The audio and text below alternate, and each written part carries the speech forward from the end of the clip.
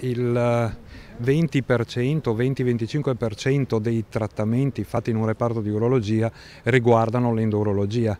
che è questa branca della specialità di urologia che tratta diagnosi e terapia delle patologie della via urinaria superiore dove la calcolosi è quella maggiormente rappresentata.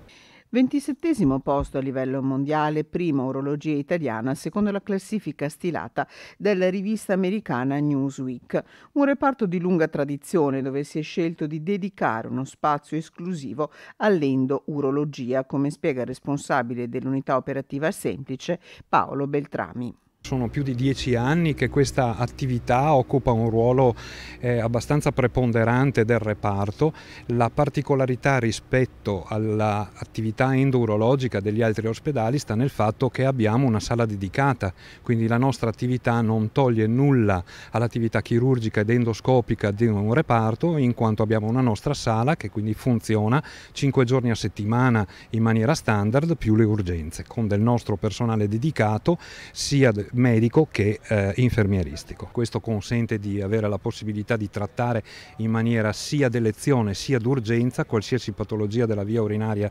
superiore senza occupare spazi per patologie neoplastiche o non neoplastiche della chirurgia tradizionale. Quasi 700 fino a luglio gli interventi eseguiti dall'equipe di endourologia, un reparto che ha sempre lavorato anche nel periodo della pandemia. La nostra chirurgia, anche se viene da qualcuno definita eh, chirurgia di day hospital, in realtà richiede comunque un ricovero, però è sempre un ricovero breve che può variare dalle 24 alle 48 ore, sempre che non avvengano complicanze che fortunatamente rappresentano una minima percentuale delle probabilità.